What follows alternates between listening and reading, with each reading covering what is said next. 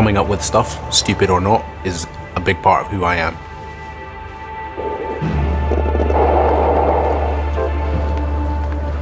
I used to skateboard when I was 14, 15. I just did not think about any other thing.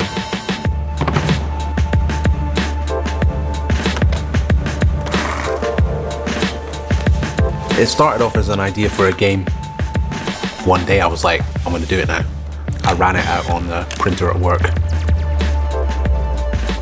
All the time, I'm kind of looking, you know, and suddenly while I'm doing something else, I'll be like, oh, that'd be a great spot for one. And then it's like a little bug in your head, and I've got like, oh, I've got to do it, I've got to do it. The idea was that I would put them up, people would see it, work out what was supposed to happen. And the reason the hashtag's on the poster was that I wanted them to like tag it and then I would find them on Instagram. But I did that for a while and nobody got it. So I had to start doing it myself.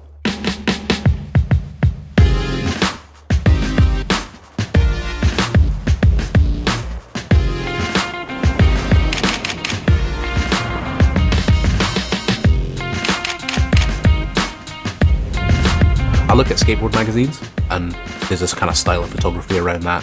I think thinking back to the things that got me into art in the first place, kind of figure drawing and being able to see, you know, what bodies can do, bodies framed against cities. And I think with a better camera, you know, you can basically nail it.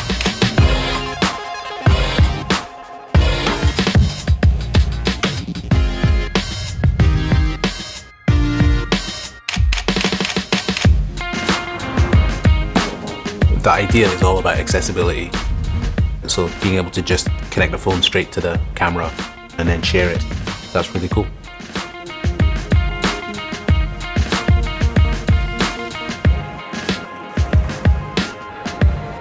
If you're a creative person, you know, you want feedback.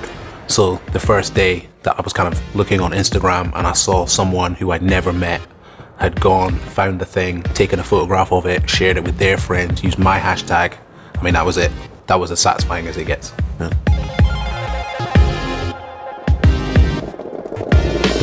and you think about the volume of photos that are getting taken and shared, you know, photography is getting more important. If you give a technology like that to that many people, people are going to come up with different things. People are going to find their own ways of making their own statements, and the more of that, the better.